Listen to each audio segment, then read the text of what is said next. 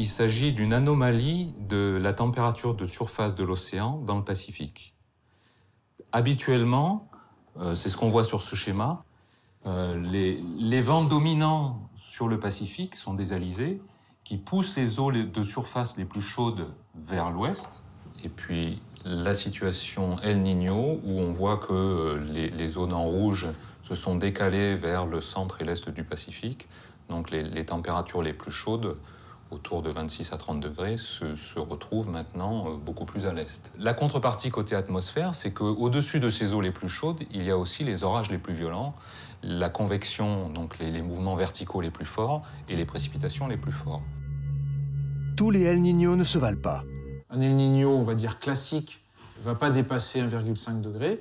Le celui de 1987-98 est arrivé à 2,3, 2,5 degrés, hein, suivant la, la région qu'on prend.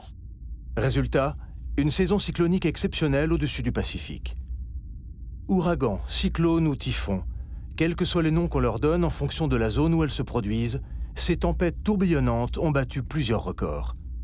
Dans les, les, les, tempêtes tropicales, dès que le vent dépasse ce seuil de 120 km/h, on les passe en catégorie cyclone. En deçà, entre 120 et 60 km/h, c'est une tempête tropicale, et encore en dessous, c'est une dépression tropicale. Donc euh, en général, on prend en charge en prévision euh, le phénomène dès qu'il atteint le stade de dépression tropicale. On commence à être, être, vigilant sur le phénomène. Et quand il atteint le, seuil de tempête tropicale, c'est-à-dire 60 km/h, euh, on lui donne un nom euh, qui permettra ensuite de le, de le suivre de manière plus simple.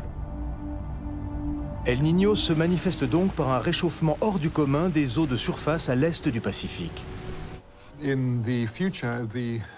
Dans le futur, les eaux de surface vont être plus chaudes et l'intensité des tempêtes est directement liée à la température des eaux qu'elles traversent. Dans les prévisions sur les comportements des ouragans et des typhons dans le futur, il y a beaucoup d'études, qui ne sont pas toutes d'accord d'ailleurs. Mais elles suggèrent toutes que les tempêtes pourraient être moins nombreuses, mais plus intenses.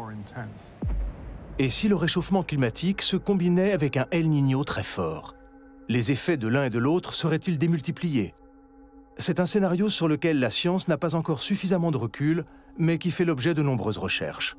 Le réchauffement climatique amplifie, d'ailleurs pas que pour El Niño, pour l'ensemble de, la planète, amplifie euh, les, les, phénomènes extrêmes euh, qui existent de façon naturelle. Là, c'est la conjonction de, du réchauffement climatique, où chaque année ça se réchauffe un peu plus, et d'El Niño.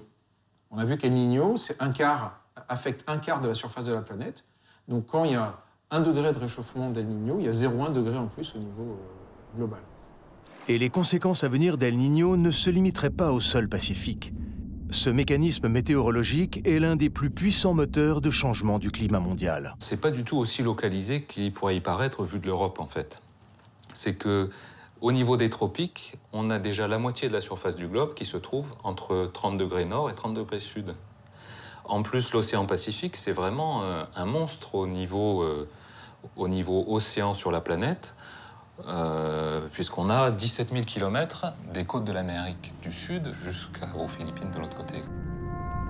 El Niño est loin d'avoir dit son dernier mot.